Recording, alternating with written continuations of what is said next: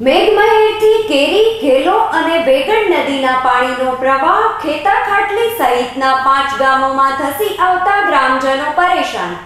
ચોમાસાના પ્રારંભથી મેઘમહેર થઈ રહી છે અને ઉપરવાસ પડેલા વરસાદના પગલે કેરી, ઘેલો અને વેગણ નદી બે કાંઠે વહેતી થઈ છે, જેનું પાણી ભાલની ખાડીમાંથી દરિયામાં જતું રહેતું હોય છે પણ હમણાં થોડા વર્ષોથી દરિયાકાંઠે બનાવેલા પાળાઓના કારણે આ પાણી ખેતાખાટલી, નર્મદ, કાળા તળાવ, પાળિયાદ સહિતના ગામોમાં ફરી વળે છે અને તેનો નિકાલ થતો નથી, જેના કારણે ગ્રામજનોને પારાવાર મુશ્કેલી વેઠવી પડે છે.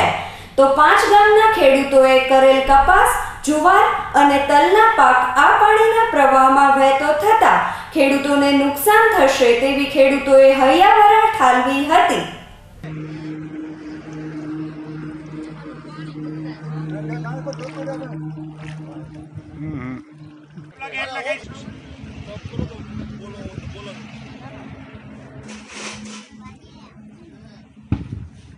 એ બોમ્બ ફૂટ્યો. આશે નો અવાજ આવ્યો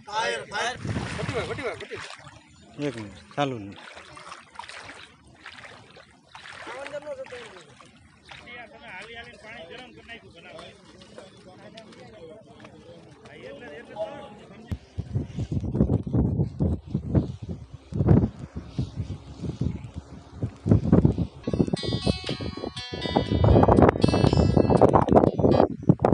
હવે અત્યારે તો જે આગળના જે મોટા મોટા પાળા થવાથી કેરી નદી, ગેલો નદી, વેગળ નદી, આના બધાય પાણી આવે અને વરસાદી પાણી બધું ભેગું થઈ અને બે વર્ષથી આ આગળના પાળાના હિસાબે અમારે લોકોને મોટી મુશ્કેલી પડે છે.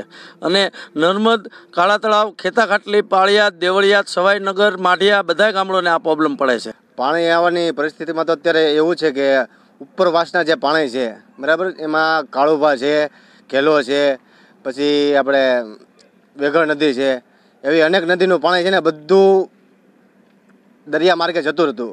અને દરિયાના માર્ગ આડા છે ને, આગળના મોટા મોટા પાળા બાંધવાથી એ બધું પાણી ગામની અંદર અત્યારે ઘૂસે છે.